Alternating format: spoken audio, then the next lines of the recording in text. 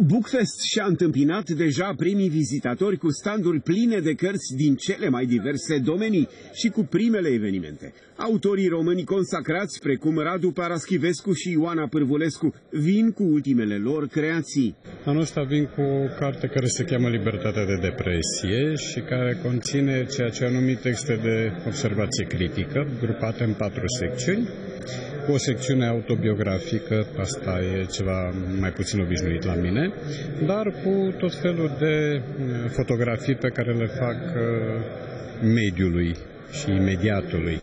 Cititori de toate vârstele au găsit cărți pe gustul lor. Văd că ți-ai ales deja o carte. Da.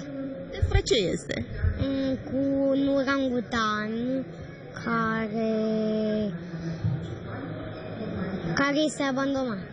În mod uh, particular mă interesează noutățile, indiferent de editură. N-am venit uh, pentru o carte anume, am venit să mă uit să văd uh, care ar putea fi următoarele mele lecturi. Acum deocamdată am uh, un tubirit, cum ar veni, Invitată de onoare a ediției din acest an e Republica Moldova, adică o pleiadă de autori cu scritură modernă și curajoasă, numai bună de savurat de publicul român pe de o parte, uh, lucrează în timp, adică are două repere temporare foarte exacte. Ziua morții lui Gagarin 68, 31 martie 68 și 7 aprilie 2009, celebru 7 aprilie în care deci, tinerii au ieșit în stradă să protesteze împotriva fraudei comuniste a alegerilor și s-a arătat s-a stat și cu victime atunci, uh, dar este vorba și de un roman al câtorva straturi culturale.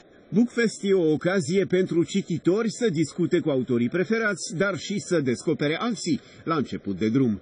Am în cartea mea un capitol, părți de fapt consistente despre Basarabia. Am uh, un colț de brăilă descris uh, cum cred că uh, nu mai există, pot să spun asta, în, în literatura română contemporană cel puțin.